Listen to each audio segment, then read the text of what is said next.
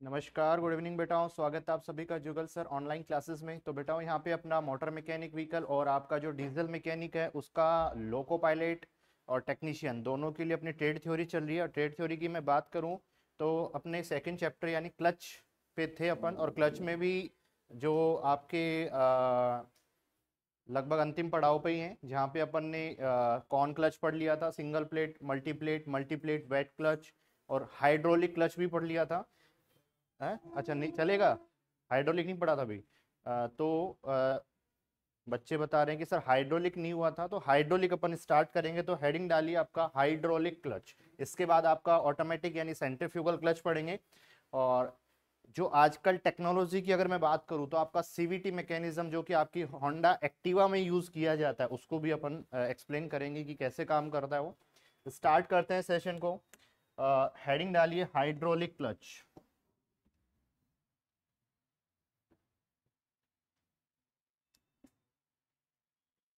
बस तुम्हें ही गर्मी लग रही है, मेरे को लग रही है। मैं ज़्यादा पुलिंदा पहनी है गर्मी। है ना? गलती कर दी मैंने भी। अरे मैं बाहर के एनवायरनमेंट को देख के डर गया मैं आज थोड़ा बाहर ऐसा ही हो रहा है। कहीं सुबह ऐसा हुआ था कि कॉलेज में मैं थोड़ा हल्का पहन गया तो वहाँ मेरी अलग ही घिंगी बन गई रास्ते में, है ना? तो फिर मुझे लगा कि यार अब भारी थोड़ा पहनना चाहिए। अब यहाँ गर्मी लग रही है मेरे को। लग रहा है एसी चलाना पड़ेगा।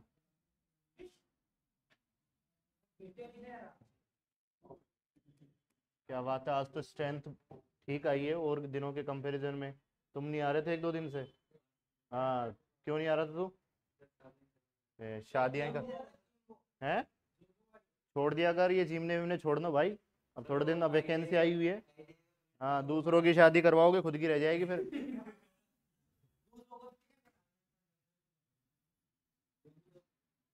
हाइड्रोलिक क्लच तेरा ही तो टॉपिक चल रहा है। एमएमवी का? है?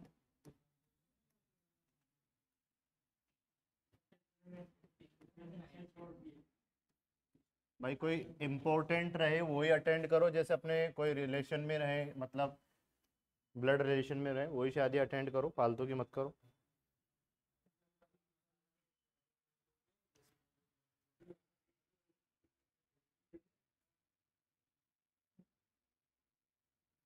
अच्छा इसको अपन ने एक्सप्लेन तो किया होगा थोड़ा बहुत क्योंकि मेरे ध्यान आ रहा है कुछ किया था अपन ने सैटरडे को है ना? बेसिकली uh, सबसे पहले तो इसकी मैं बात करूँ कि इसकी रिक्वायरमेंट कहाँ पड़ी जहाँ पे इंजन और आपका क्लच पैडल अगर इसके बीच में डिस्टेंस ज़्यादा है तो अपना हाइड्रोलिक पे जाते हैं अपन, है ना? कारण क्या होता है कि अगर अपन मैकेनिकली अगर ऑपरेट करेंगे तो भैया जैसे आपकी लो फ्लोर बसेस होती है लो फ्लोर बसेस में आप देखोगे इंजन पीछे है ड्राइवर आगे है, इतनी लंबी डिस्टेंस और अगर आप मान लो आपने कोई मैकेनिकली सिस्टम यूज़ किया है क्लच को ऑपरेट करने के लिए तो भैया फिर अपन को क्लच को ऑपरेट करने के लिए इस शक्तिमान की ज़रूरत पड़ेगी, है ना? शक्ति मतलब पावरफुल इंसान की ज़रूरत पड़ेगी। क्योंकि इतना लंबा मैकेनिज्म है तो क्लच को ज़्यादा ताकत चाहिएगी उसको ऑपरेट करने के लिए।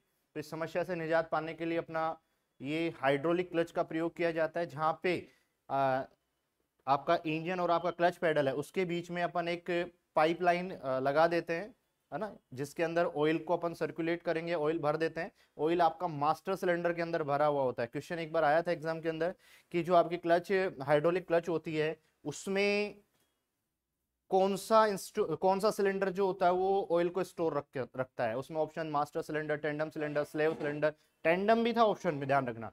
ये जड़ूला उतारता है ना, वो मास्टर हाँ खैर उसमें भी मास्टर में रहता है, नहीं उतरेगा। मतलब अगर उल्टा पूछ लेता ना कि किसमें नहीं रहता है, तब कंफ्यूजन हो जाता है, क्योंकि अभी जैसे तुम तो तुम्हारे तो नहीं होगा डीजल वालों को, इनको होगा, क्योंकि तुम ब्रेक पढ़ोगे ना तो ब्रेक में मास्टर और टेंडम सिलेंडर आ जाएँगे सेम इसी इसी सेम इसके अंदर, यहाँ पे हाइड्रोलिक क्लच के अंदर तो मास्टर सिलेंडर और स्लेव सिलेंडर आता है। ब्रेक में भी आता है यही हाइड्रोलिक सिस्टम जहाँ पे मास्टर और टेंडम आ जाएगा आपका। तो वहाँ कंफ्यूजन हो जाएगा। तेरे को हवाई नहीं लग रही टेंडम वेंडम कुछ पढ़ा था, नहीं पढ़ा था कॉलेज में? तेरे। लग रहा था मेरे तेरी शक्ल देख के, ऐसे देख रहा था कि यार क्या बोले जा रहे हैं सर। क्लच का ब्रेक का प्रैक्टिकल भी नहीं किया कभी? तेरे।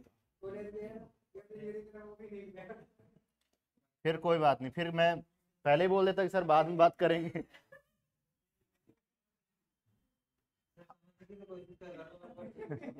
कोई बात नहीं। बहुत सिंपल है, मैं समझा दूँगा तो चिंता मत कर। बहुत सिंपल है।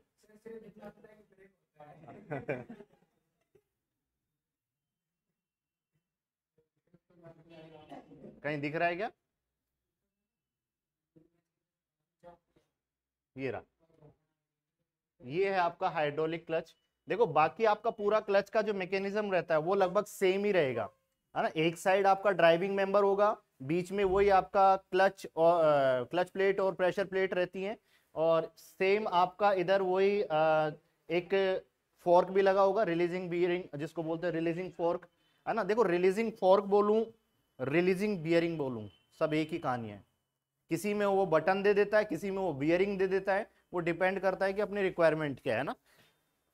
और ये आपका वही क्लच शाफ्ट यानी लीवर मैकेनिज्म जो मैं बात करूँगा, वही जो कि आपका पहले डायरेक्ट आपके क्लच से जुड़ा होता था, अब डायरेक्ट नहीं जुड़ा। अब आपका सिलेंडर ये आपकी क्लच ही रही, यहाँ पे आपका क्लच पेडल ये यहाँ पे क्लच पेडल है और इधर आपकी, मान लो पीछे की तरफ़ इंजन है जैसे भी है तो अब ड्राइवर जब इसको दबाएगा तो ये जो मास्टर सिलेंडर बना है, जिसके अंदर ये ऑयल स्टोर है, इसको ये अच्छा सिलेंडर में पिस्टन सिलेंडर असेंबली होती है, ध्यान रखना।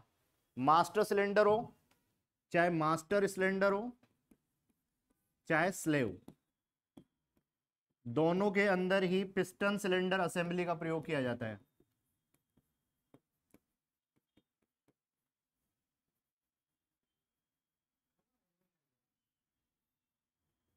ये पिस्टन सिलेंडर असेंबली कहीं और भी यूज़ की थी, याद करो।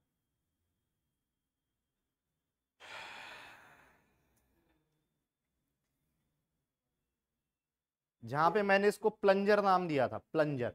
प्लंजर में भी यही पिस्टन सिलेंडर असेंबली लगी होती है, प्लंजर। ये प्लंजर कहाँ लगा हुआ था? है? बहुत बढ़िया यार, मज़ा आ गया। एफ़ आई पी पंप में था ये। जो आपका एफ़ आई पी पंप था ना, उसमें ये ही मैकेनिज्म यूज़ होता है, प्लंजर ही लगाया था नीचे से अपन ने।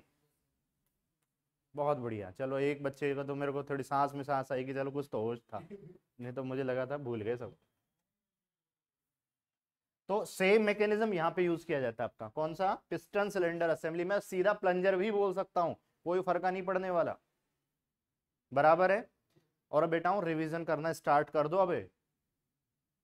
अब तक मेरे हिसाब से एक आध बार रिविजन तो हो जाना चाहिए था तुम्हारा। तो फिर आप ध्यान से नहीं कर रहे रिविजन यार। अच्छे से शांति मतलब एकदम शांति से रिविजन करना। देखो, दो चीज़ें होती हैं। एक तो बच्चा क्या होता है टारगेट बना लेता है कि बस मेरे को इस इस टाइम में बस ये दो पेज पढ़ने हैं तो पढ़ने ही है। अब भले उसके समझ में बस वो अपने संतुष्टि के लिए दो पेज पढ़ डालता है। समझ में आया नहीं आया, वो मुद्दा नहीं है उसके लिए। भैया, कोई बात नहीं, समय ज़्यादा लग जाए, लेकिन उनको ध्यान से पढ़ो। अगर एक ही पेज पढ़ने को मिल रहा है तो एक ही पेज पढ़ लो, लेकिन वो पढ़ लो तो ऐसा पढ़ो कि भाई उसको शायद अब दोबारा देखने की ज़रूरत ना पड़े।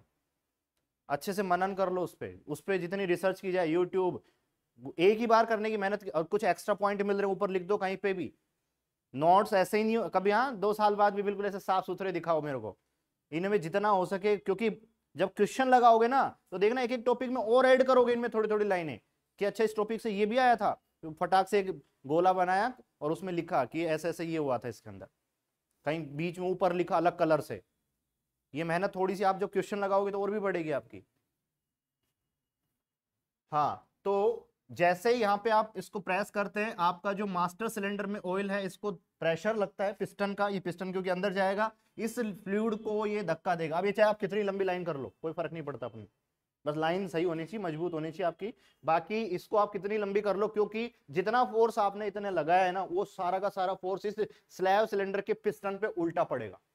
यही खासियत है आपकी ऑयल की।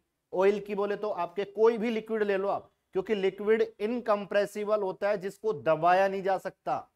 अगर जितना आप इधर से धक्का दोगे, उतना ही फोर्स उधर भेजेगा। अगर इधर पैडल पे आपने 10 न्यूटन लगाया था तो इधर भी 10 न्यूटन का ही लग जाएगा। बीच में कोई लॉस नहीं होने वाला। और यही क्वालिटी का अपन फ़ायदा उठाते हुए बड़ी बड़ी क्रेन हाइड्रोलिक क्रेन बना लिए जैक बना लिए डंपर उठा रहे हो आप, मिट्टियाँ उठा रहे हो, पता नहीं क्या क्या उठा रहे हो। तो उसका अच्छा खासा आपको बेनिफिट मिलने वाला हाइड्रोलिक ये जो आपकी इस प्रॉपर्टी की वजह से। कभी पूछे कि भाई हाइड्रोलिक अच्छा किस नियम पे काम करता है? कोई बता सकता है? हाइड्रोलिक की पूरा जो तामझाम होता है क्लच और जो आपके क्रेन वगैरह हैं, आपके जैक वगैरह हैं, ये किस सिद्धांत पे काम करते हैं? ध्यान रखना पास्कल के सिद्धांत ये भी ध्यान रखना, किस सिद्धांत पे काम करते हैं? पास्कल के सिद्धांत पे। अब मान लो सपोज़ करो, यहाँ पे क्वेश्चन आ गया कि हाइड्रोलिक क्लच किस सिद्धांत पे वर्क करती है? तो पास्कल के नियम पे। और क्लच का सिद्धांत पूछे तो घर्षण के सिद्धांत पे था। लेकिन ये जो हाइड्रोलिक मैकेनिज्म होता है, ये पास्कल के, यानी पास्कल का नियम क्या कहता है पता आपको? पास्कल का नियम नहीं पढ़ा? साइंस में आया होगा यार। है?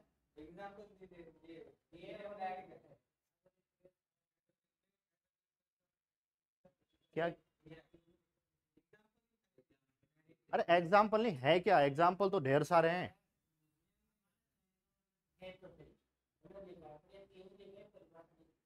पास्कल के नियम नियम क्या है, नहीं बताया?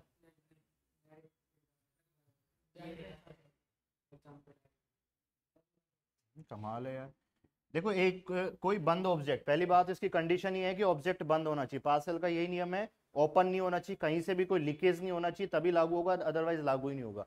किसी बंद ऑब्जेक्ट के अंदर मान लो कोई गैस या कोई लिक्विड है, बराबर है? स्पेशली लिक्विड की बात करूँ, क्योंकि गैस कंप्रेसिबल होती है, इसलिए उसका यूज़ नहीं करते। लेकिन कुछ गैसेज ऐसी होती है जो कंप्रेस, इनकम्प्रेसिबल भी होती तो वो उनके केस में भी ये गैस को भी यूज़ कर लेता है। अब मान लो यहाँ पे कोई पिस्टन आपने लगाया, और इधर से आप इसको धक्का लगा रहे हो, ये मान लो यहाँ पे कोई लिक्विड है। तो पास्कल का नियम क्या बोलता है? जब इस बंद ऑब्जेक्ट के अंदर कोई लिक्विड भरा हुआ है, और आप अगर उस पर प्रेशर लगा रहे हैं, क्या लगा रहे हैं? प्रेशर। तो भैया, इस लिक्विड पे तीनों डायरेक्शन में सेम प्रेशर लगेगा, बस।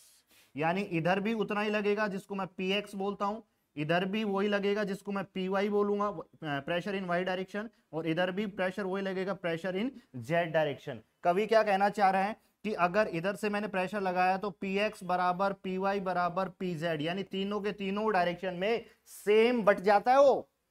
बस इसी प्रॉपर्टी का फ़ायदा उठाते हुए अपन ये हाइड्रोलिक इसीलिए काम कर लेता क्योंकि सभी डायरेक्शन में सेम जाता है। अगर एक डायरेक्शन में भी उल्टा सीधा हो जाए ना तो गड़बड़ा जाएगा मामला आपका। फिर वो उतना अमाउंट का फोर्स कभी भी नहीं जाएगा। तो ये है पास्कल का नियम कि किसी एक बंद ऑब्जेक्ट के अंदर किसी लिक्विड या इनकम्प्रेसिव गैस पर अगर आप प्रेशर लगाते हैं तो उसके तीनों दिशाओं में बराबर प्रेशर लगता है। कोई बात नहीं। अपना ये सिस्टम समझ में आया और एग्ज़ाम्पल तो आप डायरेक्ट बहुत सारे देख सकते हैं। आपका पाइप है, हवा भरने वाला पाइप है, वो भी क्या है? वो भी उसी का नमूना है। कहाँ से बन जाती है? वो इतना ऊपर है। क्योंकि आप वो उस पर देखना नीचे रबर लगा होता है, क्योंकि वो पास नहीं होने देगा। जैसे आप ऊपर खींचते हो तो वैक्यूम की वजह से खींच लेता है और फिर आप ताकत लगा के उसको भेज देते हो, क्योंकि वो, हालाँकि वो कंप्रेस हो सकती है। देखो, मैं वापस बोलूँगा, वो कंप्रेस हो सकती है। लिक्विड कंप्रेस नहीं होगा किसी भी कंडीशन पे, चाहे तुम शक्तिमान क्या पूरी धरती खड़ी कर देना उस पर अब लिक्विड तो ऐसी चीज़ है। गैस भी वैसे कुछ कुछ एक गैसेस बहुत खतरनाक होती हैं, वो भी। वो नहीं दब सकती और उसी का नमूना होता है ये भूकंप आना।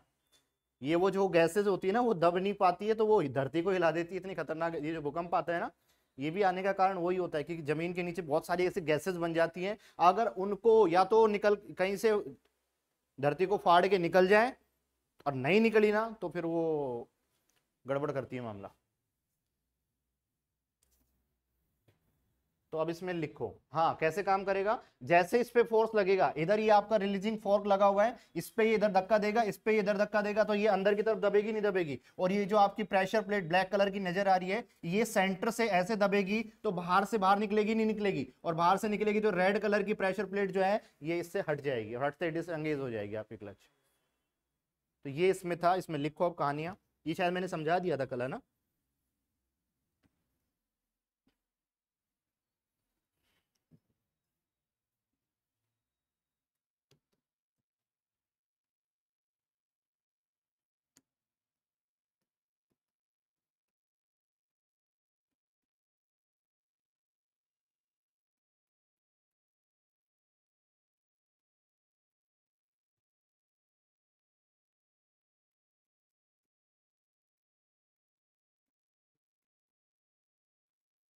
इस प्रकार की क्लच का प्रयोग वहाँ किया जाता है, जहाँ इंजन व क्लच पैडल के मध्य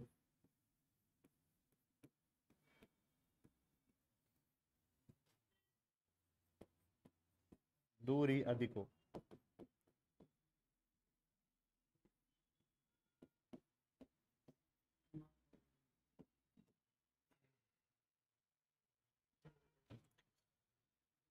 ऑनलाइन में। कार्तिकेय सर, आप ऑनलाइन वाले बच्चों की बात पर ध्यान नहीं देते हैं। क्यों? सॉरी बेटा। मैंने एक्चुअल में उस टाइम जब पढ़ाते टाइम बेटा बार बार ध्यान उधर नहीं जाता है। मेरा फ्लो टूट जाता है, इस वजह से एक बार ध्यान दे लेते हैं हम ढंग से ही। और तेरी। Kartikeya hello sir Lokesh Nagar. Kartikeya sir मेरा ट्वेल्थ कंप्लीट हो गया है। किसने डाल सकते हैं? तो बेटा ट्वेल्थ वालों के लिए वैकेंसी है क्या इस बार? ट्वेल्थ वालों के लिए? है? नहीं एएलपी में ट्वेल्थ वाले नहीं भर सकते बेटा ना, वो टेक्नीशियन भर सकते हैं। और टेक्नीशियन में भी कुछ सेलेक्टेड सीट पीसीएम वाली कैटेगरी बनेगी, है ना?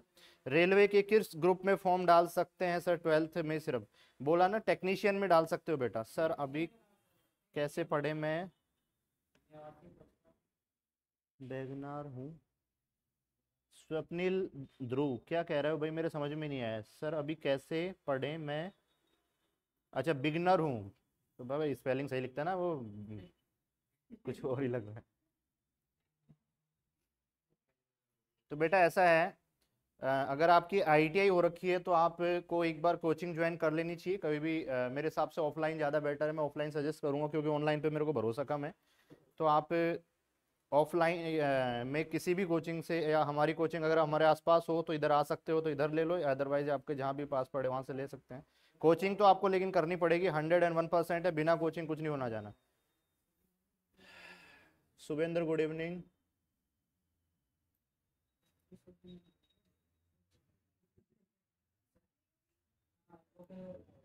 Syllabus complete हो जाएगा एएलपी तक। बिल्कुल हो जाएगा। बिल्कुल हो जाएगा। एम के सिलेबस हंड्रेड परसेंट हो जाएगा, वो मेरी गारंटी है। है? मतलब? नहीं, मोटर मैकेनिक की भी है ना, क्यों नहीं है? हाँ हाँ मैं, भाई, कोई और दूसरा नहीं। कहीं कल ना आगे बोले इलेक्ट्रिकल मैं, मेरे पास जो सब्जेक्ट है डीजल और मोटर मैकेनिक इसकी मैं गारंटी लेता हूँ, बाकी का और रही बात डीजल की तो डीजल का एक चैप्टर है जो कि मैं इसके बाद ही ले रहा हूँ उसको ना? लुब्रिकेशन सिस्टम को इसके बाद ही करके तुम्हें मैं शांति से निपटाऊँगा ना? क्योंकि मैं पेंडिंग अब रखना नहीं चाह रहा कुछ भी, क्योंकि फिर पता नहीं टाइम मिलेगा, नहीं मिलेगा, ये मैं श्योर नहीं कह सकता। जैसे कि मेरा वो डब्ल्यूसीएस में हुआ था, वो बच्चे आज भी बेचारे गालियाँ देते होंगे मेरे को। नहीं अच्छा नहीं लगता मुझे, मैं अब मैं यही रहेगा, जो भी अब, जैसा भी वेल्डर मैंने खत्म किया, बिल्कुल नीट एंड क्लीन समाप्त कर दिया। एक भी जो भी नीमी का पैटर्न पढ़ा है, मैंने ये भी नहीं देखा कौन सा एग्ज़ाम है कौन सा क्या है। नीमी यानी अपनी आई का सिलेबस के आधार पर पूरा करवा दिया मैंने। मतलब अतिरिक्त ही हो गया होगा, काफ़ी अतिरिक्त हो गया होगा उनका। कुछ एक ने तो बच्चों ने नाम भी नहीं सुने चैप्टर के वो भी हो गए। तो वो तो फ्री हो गए। हाँ ये लिख लिया। सेकंड पॉइंट लिखो, इस क्लच को ऑपरेट करने के लिए देखो, यहाँ पे ऑयल जो होता है ना, वो आपका ब्रेक ऑयल ही होता है, ध्यान रखो। है ना? तो आप ऑयल कोई सा भी ले सकते हैं। अब ऑयल का देखो, बहुत सारी चीज़ें होती हैं, उनकी विस्कोसिटी डेंसिटी वो सब अलग अलग प्रकार के आते हैं। आपको क्या चीज़ ऑपरेट करनी है? जैसे जैसे आप हैवी व्हीकल की तरफ़ जाओगे, वो गाढ़े होते जाएँगे। और जैसे जैसे लाइट व्हीकल वो हल्के रहते हैं आपके, है ना? तो वो विस्कोसिटी जो है, वो डिफर करेगी इनमें। एक एस ए ई नंबर मैंने आपको पढ़ाया था। उड़ गए तो होते। ये ऐसे ही चालीस है ना ये आपके आपके जो ये इंजन ऑयल जो आता है ना वो इसी आधार पे आते हैं। एस ए ई ग्रेड के आधार पे आते हैं। अपन जैसे 20 40 का डालते हैं कोई 30 40 का डालता है। वो एनवायरमेंटल कंडीशन पे भी डिपेंड करता है कि कहाँ की कंडीशन कैसी है। जैसे आपके ठंडे प्रदेश होते हैं। अब भैया विस्कोसिटी तो अगर ज़्यादा ठंडा ही है तो वो तो जमेगा या ज़्यादा गाढ़ा रहेगा तो वहाँ पे कम नंबर वाला यूज़ करते हैं। और जहाँ पे जैसे गर्म प्रदेश होते हैं, वहाँ पे ज़्यादा नंबर का यूज़ किया जाता है। नंबर जैसे जैसे बढ़ता जाता है विस्कोसिटी विस्कोसिटी बढ़ती जाती है, घटती जाती है। विस्कोसिटी बहने का, द्रव के बहने का विरोध होता है। बढ़ने का मतलब विरोध बढ़ता जाएगा मतलब गाढ़ा होता जाएगा। जैसे जैसे नंबर बढ़ेगा, गाढ़ा होता जाएगा। ये थोड़ा सा उल्टा मैकेनिज्म होता है, ध्यान रखना इसमें ना? सेकंड पॉइंट क्या है? इस क्लच को ऑपरेट करने के लिए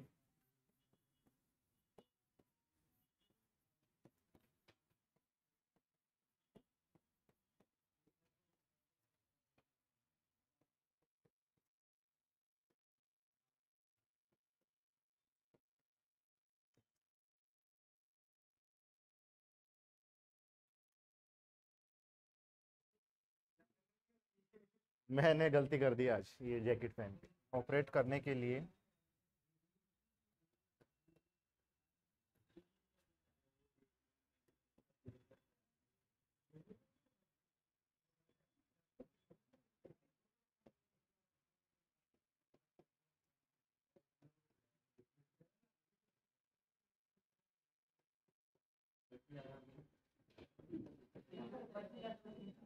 क्या? बच्चे ज़्यादा हो गए? तो अब तो होंगे वैकेंसी के टाइम पे। यार कौन जा रहे हैं? वही सबकी, देखो, एक डिमांड हो जाती है फिर वो, जब बच्चे देख के उनको ऐसा लगता है कि भाई, हमें भी पैसे ज़्यादा मिले, वो चीज़ आ जाती है। बाकी कोई ऐसे, मेरे हिसाब से तो कोई मेजर प्रॉब्लम है नहीं अब तो।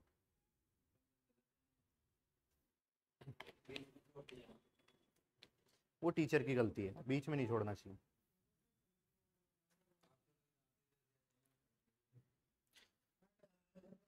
है? मेरा एड्रेस कुन्हाड़ी में रहता हूँ मैं, थर्मल कॉलोनी।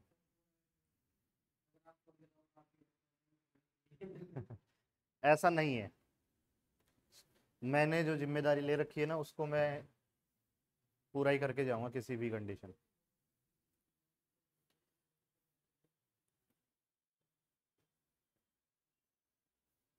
आरएसी की क्लास सुबह होती है ना? प्रवीण सर पढ़ाते तो हैं, एपी।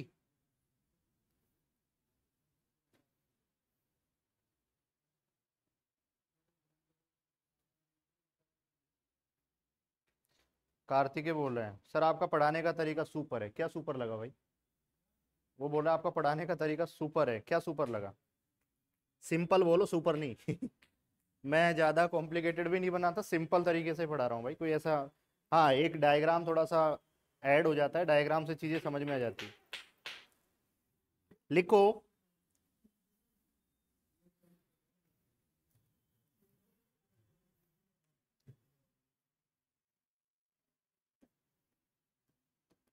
इसमें ऑयल को ऑपरेट करने के लिए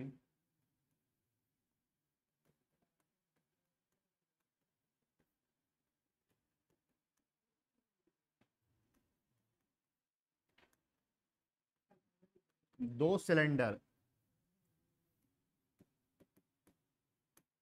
दो सिलेंडर व फ्लो लाइन का प्रयोग किया जाता है।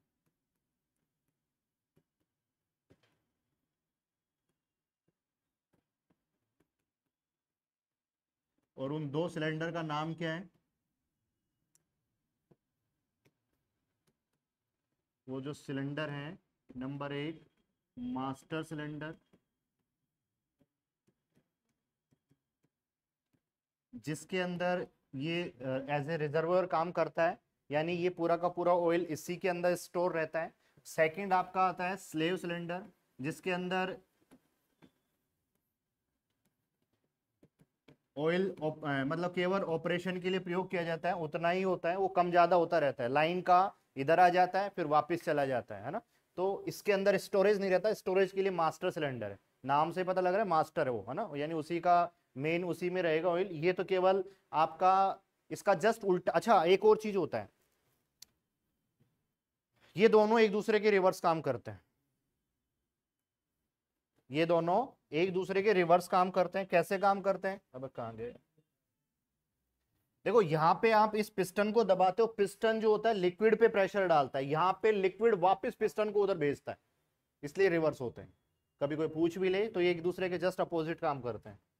मास्टर सिलेंडर और स्लैब सिलेंडर अंग्रेज़ों के लिए भी लिख देते हैं।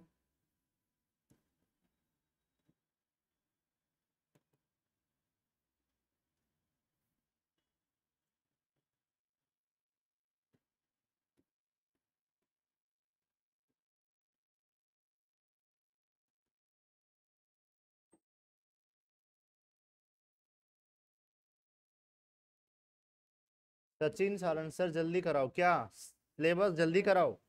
कहाँ जाना है भाई इतनी जल्दी करके?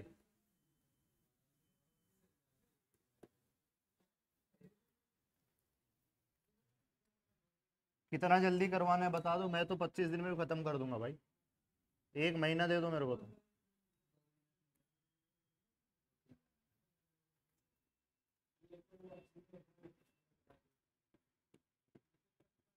जैसे ही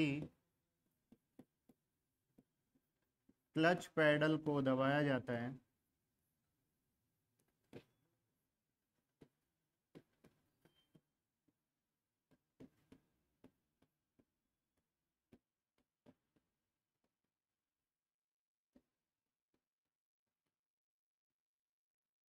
Master cylinder.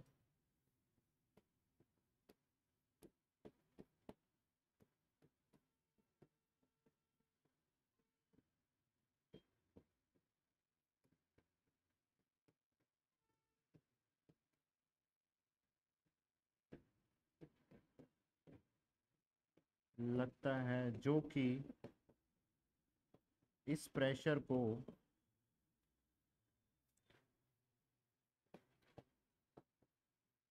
प्रेशर बोलूँ या ऑयल बोलूँ, है ना? इस प्रेशर को, क्योंकि प्रेशर ऑयल के साथ ही जाएगा, हवा में तो जाएगा नहीं तो जो कि इस प्रेशर को स्लेव सिलेंडर में ट्रांसफ़र कर देता है। स्लेव सिलेंडर में स्थानांतरित कर देता है। कुछ गलत तो नहीं लिखा। वही जो आपको बताया, वही चीज़ है। जैसे आप क्लच पेडल को दबाएँगे, सर, मास्टर सिलेंडर के अंदर जो आपका ऑयल है, उसको पिस्टन धक्का देगा, वो आपका ऑयल प्रेशर जो होता है, वो ट्रांसफ़र हो जाएगा कहाँ पे? स्लैब सिलेंडर में। तो स्लैब सिलेंडर आगे क्या करेगा? आगे वही आपका रिलीजिंग फॉर्क पे दबाव डालेगा और बाकी मैकेनिज्म पूरा सेम वो मैं नहीं लिखवाऊँगा। कि वो फिर ऐसे ऐसे उसको फोर्क को फोर्क भेजेगा, आपको प्रेशर प्लेट पे प्रेशर प्लेट अंदर जाएगी और बाहर निकल जाएगी डिसंगेज हो जाएगा। चाहो तो लिख लेना, एक लाइन और एक्स्ट्रा हो जाएगी। आशीष प्रजापति आ गया। सर, डीजल वालों का हीट इंजन की क्लास की पढ़ना पड़ेगा क्या? देखो, मर्ज़ी है तुम्हारी। मर्ज़ी है तुम्हारी। पढ़ना चाहो तो पढ़ सकते हैं। बस उसकी थोड़ी सी स्टार्टिंग डिफरेंट होगी। हीट इंजन की स्टार्टिंग डिफरेंट है वहाँ पे मैं आपको हीट इंजन का बेसिक मैकेनिज्म बताऊँगा पहले। फिर वही डीजल मतलब स्टार्टिंग में हीट इंजन से करूँगा और दो या दो क्लास के बाद ही वह पूरा वही डीजल वाला कनेक्ट हो जाएगा आके। जैसे टाइप्स ऑफ़ इंजन पे आऊँगा आईसी और ईसी फिर आगे का सेम प्रोग्राम है। स्टार्टिंग में बस वो कार्नोट साइकिल और वो बत, बतानी है हीट इंजन में एक्स्ट्रा जो आपकी ऑटो साइकिल आएगी कार्नोट साइकिल आएगी पीवी डायग्राम वाला और एक उसकी एफिशिएंसी आएगी हीट पंप आएगा और रेफ्रिजरेटर आएगा। ये आएँगे आपके हीट इंजन के एक्स्ट्रा पार्ट गुरुजी, हम tractor Naveen Kumar tractor mechanic से हैं। क्लास बेस्ट है ना बताइए? ए क्लास बेस्ट है। देखो बेटा, ये क्लास अभी मोटर मैकेनिक की चल रही है ना। ट्रैक्टर मैकेनिक की आप कल से, नहीं सॉरी अभी एक घंटे बाद स्टार्ट होगी, उसके बाद देख सकते हैं उससे वो भी दो तीन दिन बाद, क्योंकि अभी तो हीट इंजन का चलेगा एक दो दिन तो। नहीं एक्चुअल में हीट इंजन से स्टार्ट होगा। अब हीट इंजन के एक या दो क्लास बाद फिर वापस डीजल, वही सिलेबस वही आना है घूम फिर के। देखो, आपको मैं समझाऊँगा, ये हीट इंजन एक्चुअल में कोई आईटीआई की ट्रेड नहीं है, पहले बता दूँ। कुछ लोग सोच रहे हैं हीट इंजन कोई ट्रेड होती है, कोई ट्रेड नहीं होती। क्योंकि हीट इंजन उन्होंने इसलिए डाला है क्योंकि डिग्री डिप्लोमा वाले हीट इंजन ही पढ़ के आते हैं। तो वो ऑप्शन कैसे भरें? क्योंकि उसमें मैकेनिकल तो ऑप्शन आता नहीं है कि B Tech in mechanical ITI option आता है तो वो उनके पास ये ऑप्शन दिया जाता है कि तुम हीट इंजन नाम से भर लो। बाकी हीट इंजन कोई अलग से ट्रेड नहीं है। वही इंजन है आपका। उसमें इंजन ही तो बात कर रहे हैं। अब भाई अपन ने डीजल में क्या पढ़ा था? वो इसमें इंजन तो पढ़ा था। तो स्टार्टिंग में थोड़ा सा उनका बस कार्नोट साइकिल एक दो साइकिल मैं बताऊँगा एक्स्ट्रा जो कि आईटीआई वाले तो शायद ना समझे उसको, जो बीटेक वाले वो समझ जाएँगे कि हाँ कहानी वही है। उसके बाद, दो क्लास बाद, दो क्लास बाद वापस अपना वही आ जाएगा, जहाँ अपन ने डीजल का स्टार्टिंग किया था ना, वापस वही आ जाएगा। फिर आप ट्रैक्टर मैकेनिक डीजल मैकेनिक और मोटर मैकेनिक तीनों का फिर सेम चलेगा।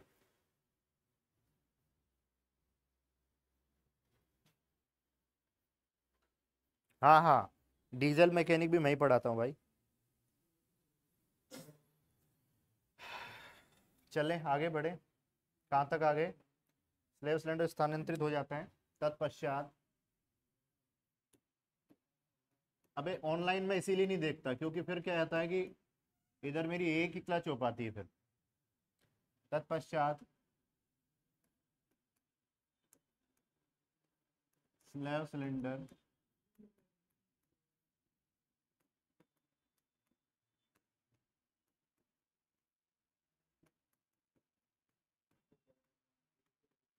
रिलीजिंग फोर्क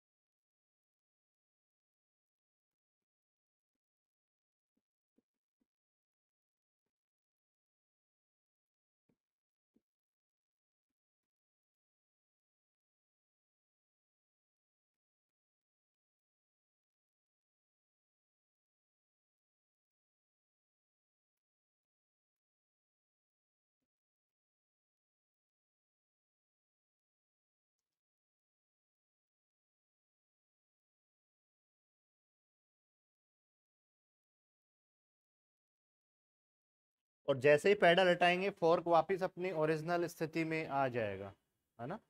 या क्योंकि जैसे आप पैडल हटाओगे, देखो, छाप लो एक बार।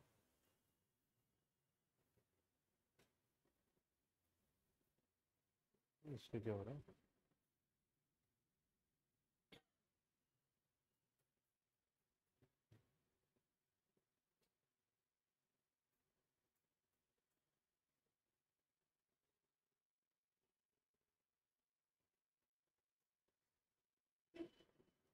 देखो, अब जैसे ही इस पैडल को रिलीज़ करोगे तो क्या ये पिस्टन वापस पीछे आ जाएगा? और प्रेशर पे जो जो आपका ऑयल है, उस पर जो प्रेशर लगा हुआ था, वो हट जाएगा और वापस नीचे आएगा, नहीं आएगा और जैसे ही वापस नीचे आएगा, वो भी अपनी ओरिजिनल पोजीशन में आ जाएगा और रिलीजिंग फोर्क भी आपका फ्री हो जाएगा और क्लच वापस डिसंगेज हो अंगेज हो जाएगी। डिसंगेज नहीं अंगेज क्योंकि नॉर्मल कंडीशन में हमेशा अंगेज रहती है। बराबर है यहाँ तक? हाँ।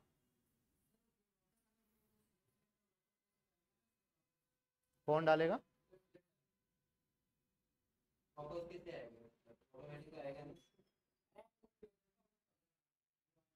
इधर ध्यान दो, जैसे ही पैडल पर से पैर हटाएगा हटाएगा, हटाते ही यहाँ पे जगह खाली हो जाएगी ऑयल वापस नीचे आएगा, नहीं आएगा आएगा, और अगर इधर से ऑयल आएगा, और इधर आपके स्प्रिंग मैकेनिज्म जो होता है, वो इसको धक्का देगा वापस, जिसके तहत ये वापस वहीं अपनी जगह पे आ जाएगा, क्योंकि यहाँ पे स्प्रिंग भी, इधर का मैकेनिज्म वही है। हाँ।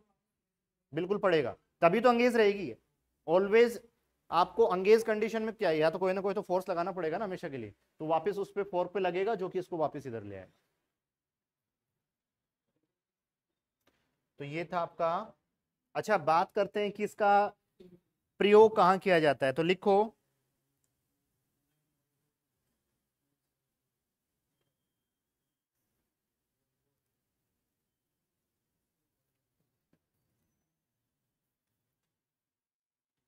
इस प्रकार का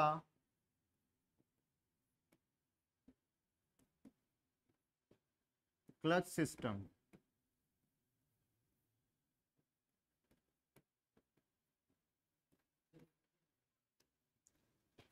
डोज पिकअप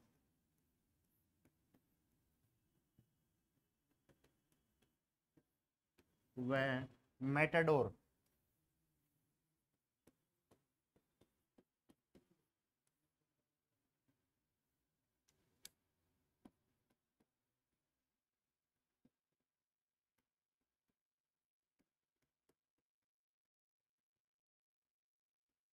और एक और बात बताऊँ आपको, जो आपने अभी तक क्लच पड़ी है ना, उसमें से सबसे स्मूथ ही है ये। मतलब जो ड्राइवर होता है ना, उसको सबसे कम ताकत इस वाली क्लच में लगानी पड़ती है। तो ये पॉइंट भी ऐड कर सकते हो कि जो आपकी मैकेनिकल क्लच होती है, उनसे ज़्यादा स्मूथ आपकी काम करती है वाली क्लच तो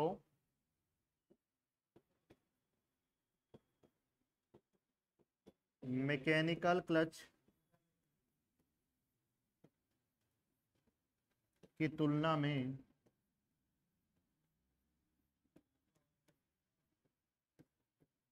इस क्लच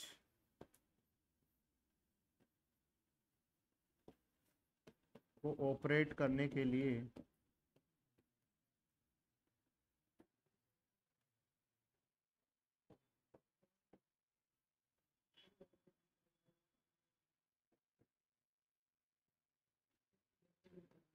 कम ताकत की आवश्यकता होगी।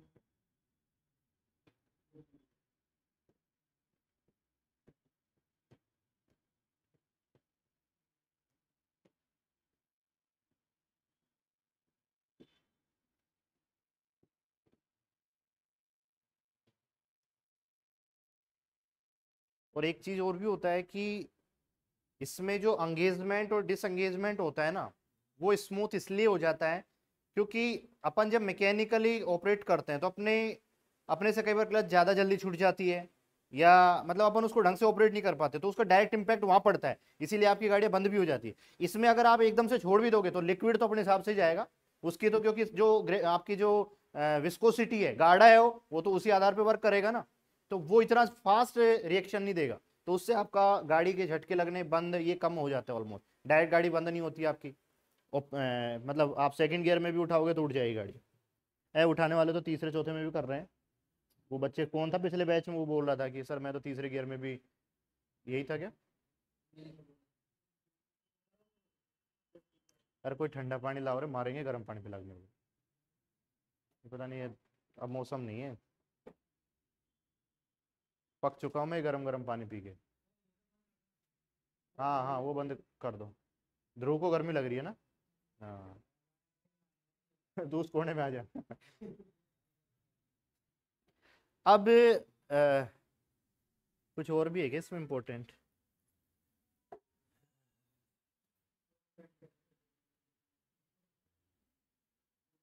हम्म, एक इम्पोर्टेंट चीज़ आ रही है। एक इंपॉर्टेंट चीज़ और है लिख लो। इस क्लच के अंदर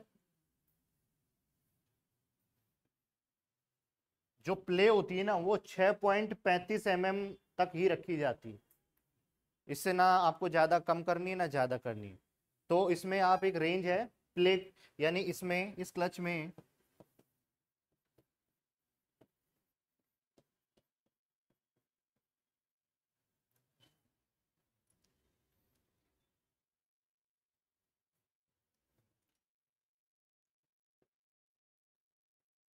सिर्फ़ छ पॉइंट पैंतीस एम mm की ही रखी जाती है।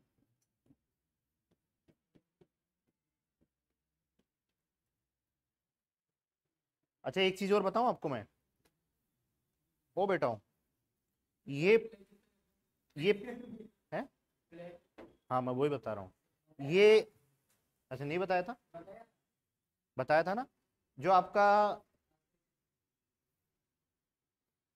एक तरीके से मैं बोल सकता हूँ, अगर मैं इनडायरेक्टली बोलूँ ना तो आपकी दोनों प्लेटों के बीच का गैप भी बोल सकता हूँ मैं इसको। एक तो वो मैंने बताया था स्प्लाइन शाफ्ट और हब के बीच में वो लूजनेस आ जाती है ना, वो चीज़ होती है। लेकिन कहीं ना कहीं गाड़ी, ये जितना नंबर कम होता जाएगा ना, गाड़ी का पिकअप उतना ही बढ़ता जाता है। और ये जैसे जैसे आप बढ़ाते जाओगे पिकअप कम होता जाता है। जैसे नॉर्मली अपनी अभी तक जो पड़ी थी ना मैकेनिकल वाली सिंगल प्लेट, मल्टी, उनमें 19 एम तक रहता है ये प्ले 19 कारण वही क्योंकि अपन इतने परफेक्ट नहीं है ना। अपन एक बार गलती से ज़ोर से भी छोड़ सकते हैं। तो इतना गैप तो रखा जाता है कि यार, वो जो प्ले रहता है ना, वो फ़ायदा ये करता है कि आपका एकदम से एंगेजमेंट नहीं होने देता बस। तो उसमें आपको काम हो जाता है। और जैसे जैसे आप इसको कम करते, अभी आप जाते हैं, देखो नई गाड़ी, आप पहली गाड़ी, पहली सर्विस करवाने जाओगे तो देखना वो पहले इस क्लच को हल्का सा यूज़ करता है। वो ये प्ले को ही बढ़ाता है धीरे धीरे पहले स्टार्टिंग में नहीं आती ना, उसमें कम होती है। अगली सर्विस देखना, पहली में आप क्लच को छोड़ोगे ना, वहीं से लगना स्टार्ट हो जाती है। अगली सर्विस में देखना, थोड़ी सी ज़्यादा छोड़ोगे, तब स्टार्ट हो जाएगा। और तीसरी सर्विस में तो आधी क्लच छोड़ने के बाद लगना स्टार्ट होती है। और वो क्यों करता है? ये प्ले बढ़ाता है। कारण? कि सर, बंदा लेके सिखाया जाता है कि मैं सेकंड गियर या फ़र्स्ट गियर में जैसे उसको बंद मतलब बीच रास्ते में बंद होने, बंद हो जाती है अपने आप ही। वो बंद इसीलिए होती है प्ले कम होने की वजह से। तो आप जैसे जैसे सर्विस करते जाओ, अब तीसरी सर्विस तक ही करते हैं, उसके बाद नहीं छेड़ेंगे ऐसा नहीं कि हर सर्विस में बढ़ाते जाएँगे, पता चला कि पूरी लगा तब भी काम नहीं कर रही। तो इतने भी प्ले उन्नीस एम लास्ट है आपकी, वहाँ तक चल जाएगा, इससे ज़्यादा नहीं है ना? तो ये प्ले कितनी दी जाती है इसमें? छह पॉइंट पैंतीस। मतलब सिर्फ़ छह पॉइंट पैंतीस ही रखी जाती है। अब वो क्यों रखी जाती है उसके पीछे? कारण वही। क्योंकि सर, इसको आप हाइड्रोलिकली ऑपरेट कर रहे हो ऑयल की सहायता से ऑपरेट कर रहे हो तो ऑयल इतनी जल्दी आपका वहाँ पे आ, मतलब एक्शन रिएक्शन नहीं देगा। क्योंकि अगर एकदम से क्लच छोड़ोगे भी आप तो भी ये तो अपने हिसाब से चलेगा है ना? क्योंकि आपके यहाँ पे कुछ विस्कोसिटी होती है द्रव तो थोड़ा गाढ़ा टाइप में होगा तो ये थोड़ा धीरे धीरे और मतलब एंगेजमेंट भी धीरे धीरे होता है और डिसंगेजमेंट भी धीरे धीरे होता है। तो ये एक अच्छा फ़ायदा आपको मिलने वाला है।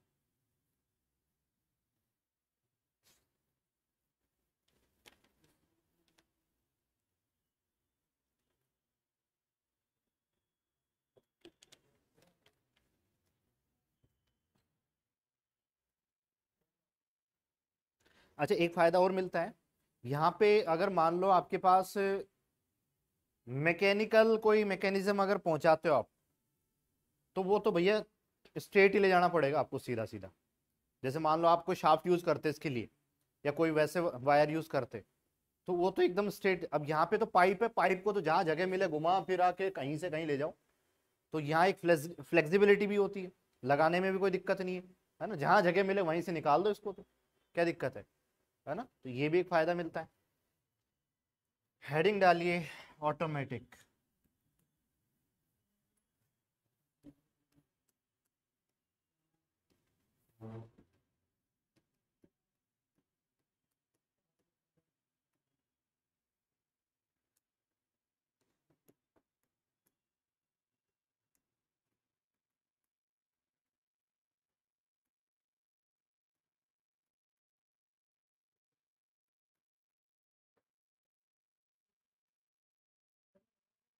हम्म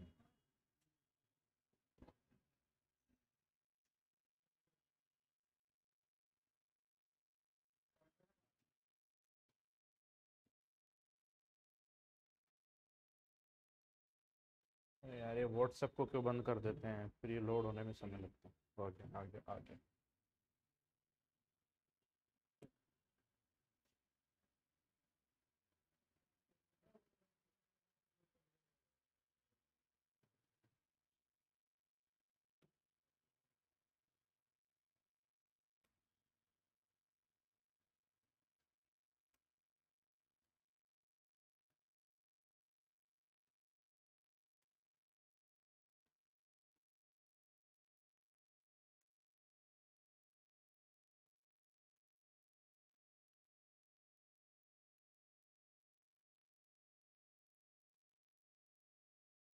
इसको समझ लो, छापेंगे कल इसको।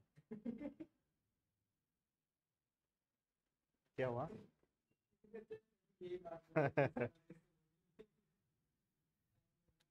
अरे भाई, ध्रुव बहुत अल्टीमेट आदमी है। पूरी कैल, पूरी गणनाएँ करके रखता है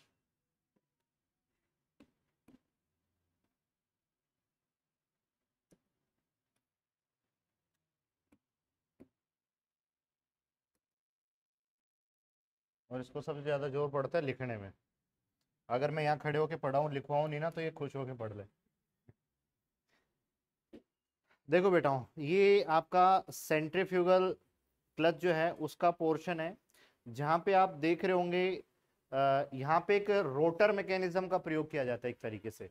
ये पार्ट जो रहता है आपका, ये आपके फ्लाई व्हील से कनेक्टेड होता है, यानी मैं बोलूँ तो ये आपका ड्राइविंग मेंबर होता है।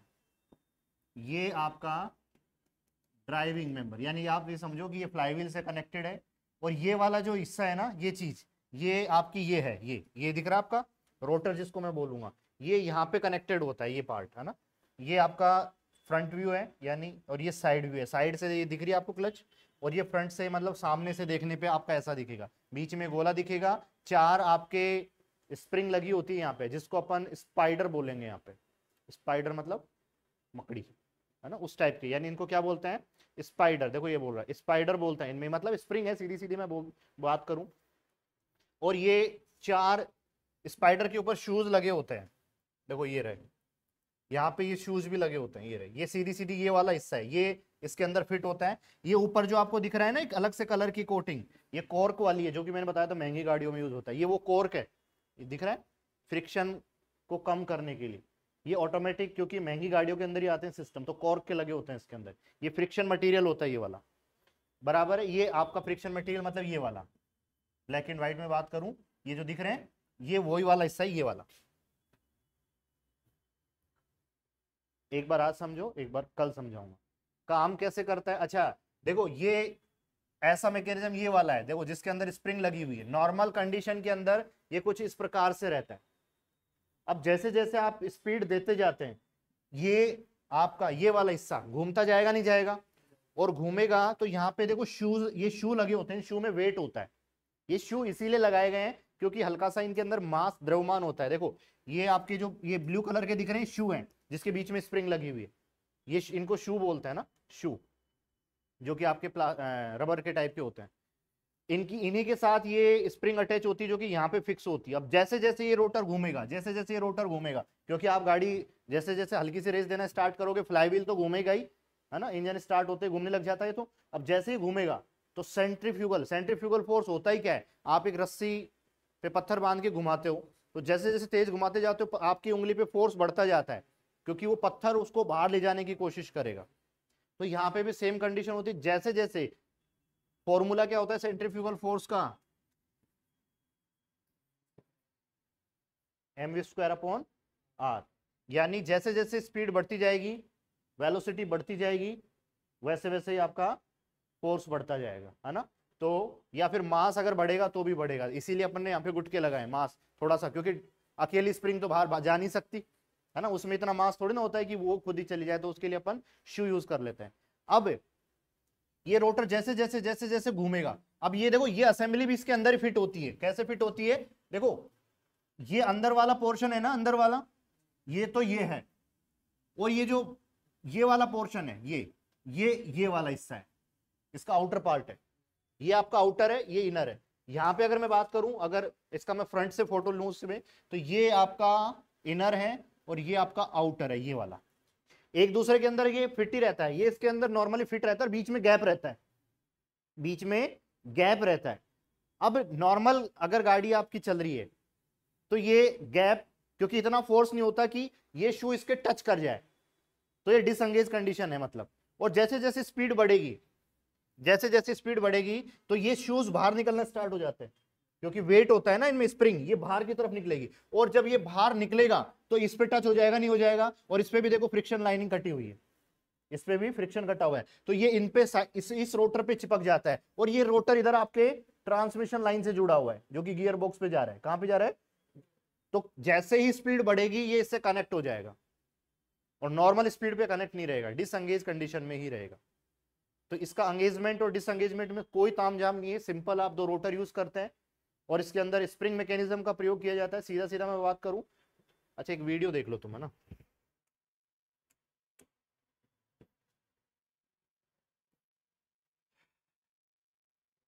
घबराने की बिल्कुल ज़रूरत नहीं हंड्रेड परसेंट समझ में आएगा।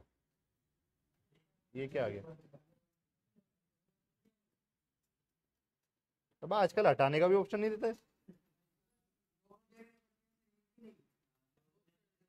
तो बहुत अति कर रहे हैं यार ये लोग। इसका अल्टरनेट आना चाहिए बेटा, जब जब किसी का एकाधिकार हो जाता है ना, तब यही होता है। अगर यूट्यूब का अल्टरनेट आ जाए ना तो ये तो क्या, सब सुधर जाए देखो, ये ऐसे काम करते, जैसे जैसे स्पीड बढ़ेगी देखो, फैल गया और फैलते ही बाहर वाली बॉडी भी चलने लग गई। ऐसे चलता है। भाई, तू ये बाद में समझा ले। देखो, अबे, कहाँ गया बे हाँ। देखो, ये पूरा मैकेनिज्म होता है प्रोपेलर शाफ्ट ये देखो एक्चुअल में ऐसा काम करती है। स्प्रिंग बाहर निकल जाती है शू की वजह से। नहीं, ये समझाएगा। पूरा समझाता है वर्किंग वगैरह क्या है। सेंट्रीफ्यूगल फोर्स अब ये तो पता है सेंट्रीफ्यूगल फोर्स क्या होता है। देखो जैसे जैसे स्पीड बढ़ती जाएगी, आपकी इंजन की स्पीड ज़्यादा रहेगी, ये चीज़ बाहर की तरफ़ निकलती जाती है सेंट्रीफ्यूगल फोर्स की वजह से। और जैसे कम होगी, वापस आ जाएगी, यानी फ्री हो जाएगा। अंदर घूमता रहेगा, बाहर का फ्री हो जाएगा कनेक्शन खत्म हो जाता है।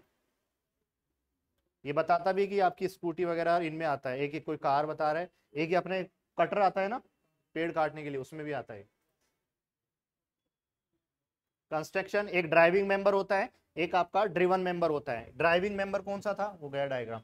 उधर वाला, जो फ्लाई व्हील से कनेक्टेड था, और इधर वाला जो खाली वाला था, वो ड्रिवन मेंबर था। ये आपके शू हैं, देखो, ब्रेक शू। और ये आपकी स्प्रिंग ऐसे कनेक्ट होती है। जैसे जैसे ये घूमेगा तो ये शू बाहर निकलेंगे, नहीं निकलेंगे। और इनके ऊपर लगा रखा है अपन ने फ्रिक्शन लाइनिंग इस कलर की क्या है ये? फ्रिक्शन लाइनिंग है। ये चारों तरफ़ है। देखो ये रहा। और ये चार ही यूज़ किए जाते हैं। ध्यान रखना ये भी। अभी धीरे धीरे घूमेगा तब कनेक्शन नहीं है। आप स्कूटी स्टार्ट करते हो स्कूटी स्टार्ट रहते टाइम नहीं चलती अपने आप। लेकिन जब हल्की सी स्पीड देते हो ना, तब चलना स्टार्ट करती है। आप हल्की हल्की स्पीड बढ़ाओगे ना, तभी का चलेगी, नहीं चलेगी नॉर्मल स्पीड में वो। अब देखो, अब ये जैसे बाहर शू निकले शू इस पे कनेक्ट हो गए। अब ये फोर्स पूरा ट्रांसमिट करेगी। और जैसे ही स्पीड स्लो करोगे, वापस आ जाएँगे शू अपने ओरिजिनल पोज तब वो डिस्कनेक्ट वो वापस डिस्कनेक्ट हो जाता है। डिसंगेज हो जाती है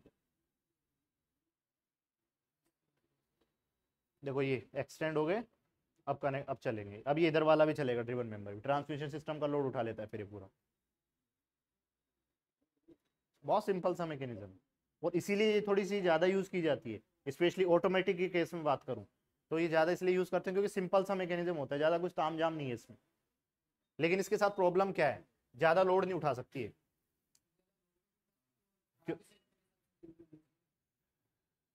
हाँ ये स्प्रिंग वगैरह, वैसे खराब तो चांसेस नहीं है ऐसा, क्या खराब होगा इसमें? हाँ वो तो कॉर्क लगा रहे हैं ना, इसीलिए तो। कॉर्क जल्दी नहीं घिसता, क्योंकि उसका फ्रिक्शन मटेरियल कम होता है, कम होता है। फ्रिक्शन कोफिशियंट ऑफ़ फ्रिक्शन कम होता है उसका। एसबेस्टस का ज़्यादा होता है, क्योंकि जितना ज़्यादा होगा, उतना जल्दी घिसेगा। तो ये इसीलिए कॉर्क यूज़ किया जाता है, जो कि महँगा है थोड़ा सा अपने महँगी गाड़ियों में यूज़ होता है ये वाला, कॉर्क। इसीलिए इसी की लगाई जाती है। तो जल्दी तो नहीं घिसेगा फिर तो फिर तो बहुत ज़्यादा वो होगा, क्योंकि एसबेस्टस तो बहुत जल्दी घिस जाएगा। क्योंकि पूरा का पूरा इसी पे बेस्ड है तो इसको अपन बाकी कल लिखेंगे। मेरे हिसाब से कुछ पचास साठ परसेंट तो आया होगा। है ना? कल एक बार वापस इसको स्टार्टिंग में एक्सप्लेन कर लेंगे, फिर अच्छे से लिखेंगे तो बिल्कुल हंड्रेड परसेंट कन्फर्म हो जाएगा। ठीक है बेटा थैंक यू सो मच बाकी कल करते हैं। आशीष रो गुड इवनिंग सर आशीर्वाद दीजिए। आठ को एग्ज़ाम है। स्ट्रेस लेवल बहुत हाई है। बस आप थोड़े मोटिवेट कर दीजिए। इसी चक्कर में दो दिन से कोई लाइन नहीं लिखी आपके लिए। कोई बात नहीं बेटा लाइन लिखने से ऐसे कुछ होता भी नहीं है। और आठ तारीख को किसका एग्ज़ाम है? मेरे को ये भी बता दीजिए, क्योंकि मेरे को आइडिया नहीं है किसका एग्ज़ाम है। डीएसएसबी का है क्या? क्योंकि डीएसएसबी के चल रहे हैं शायद। हैं? अरे नेवी के तो क्यों देंगे बच्चे? कल भी चले, बिल्कुल चलेगा। डेली चलता है कमल सिंह चौहान। कल भी चलेगा। फिटर किस ब्रांच में आता है? अब फिटर किस ब्रांच में आता है? फिटर फिटर में ही आता है भाई। मैकेनिकल ब्रांच है ना फिटर भी। दया। डीएसएसबी में किसका है बेटा?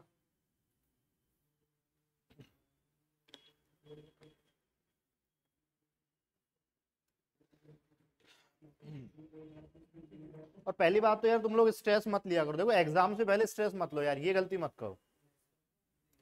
मैं तो ये बोल रहा हूँ कि दो दिन थोड़ा सा रिलैक्स रहो यार। एक, आप, क्योंकि जो तैयारी करनी है पहले कर लो आप। है ना? लास्ट में इतना स्ट्रेस लेने की ज़रूरत नहीं। लास्ट में इतना लोड मत लो कि भाई कुछ लाइन नहीं लिखी वो नहीं लिखी।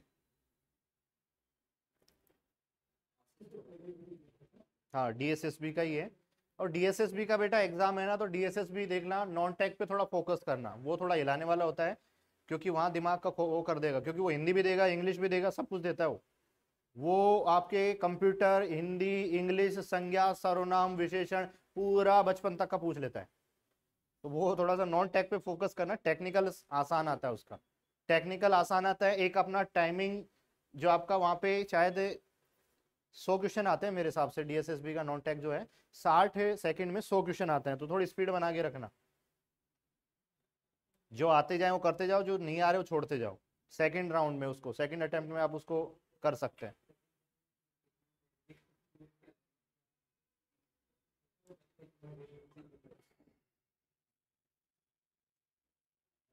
चलो बाकी अभी अभी एक, इसके बाद क्लास है, उसमें बात करते हैं ना, क्योंकि इसका टाइम हो गया है।